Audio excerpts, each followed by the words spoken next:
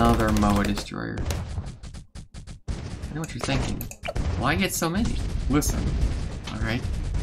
We had a crisis in round 60 or something? Or 62, 58, I don't know what it was. Where they came so close to being me. I would have lost my precious little heart.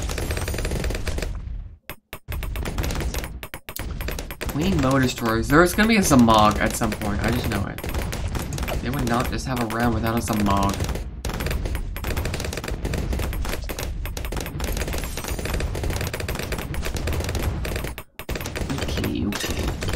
Now this, is the closer one, I'm gonna go with frag bombs.